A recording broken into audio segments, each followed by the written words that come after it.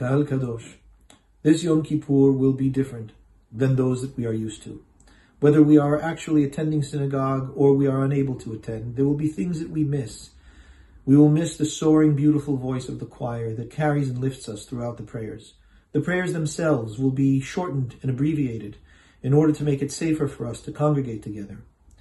But even as we congregate together, there will be one thing that I know will be very much missing, and that is at Kol Nidre, at Ne'ilah, when not a seat in the synagogue is free, when all of us, the entire community, come together in person to be present on the most solemn day of our calendar. That will be something that all of us will miss very much.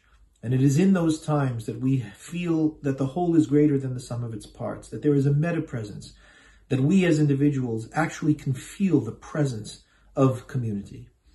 And being that that is not something that we can do this year, it is important that we do not lose sight of its value and its beauty, and that we remember the unity in community and do all we can to ensure that we keep it in our hearts, in our minds, and in our souls.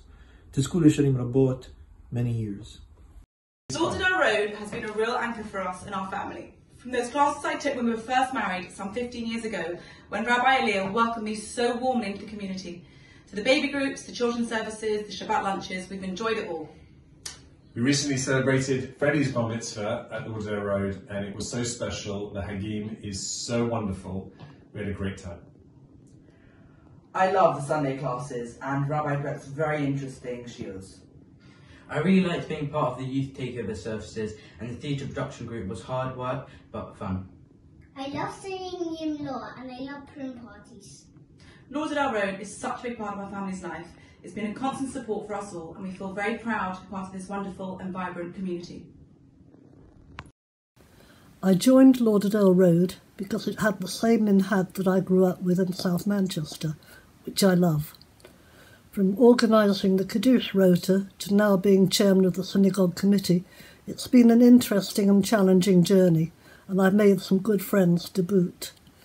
And in these strange times, I've met even more of our members through our activities on Zoom, and this has been a real bonus.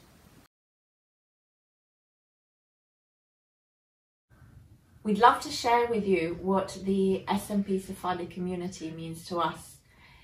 To us, I think it forms the foundation of everything that we do, from the religious to the spiritual to the social to the and to the secular.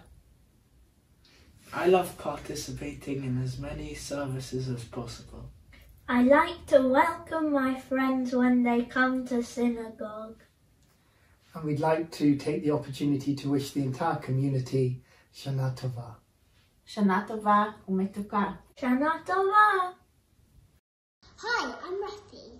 This is Mummy, and this is Daddy, and this is Naomi, and I'm Rafi. Hi. Hi.